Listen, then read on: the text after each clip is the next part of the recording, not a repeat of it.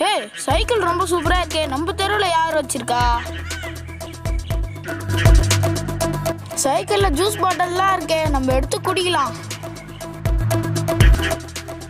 ஓ இது தண்ணியா? சரி விடு தாகத்துக்கு குடிப்போம்.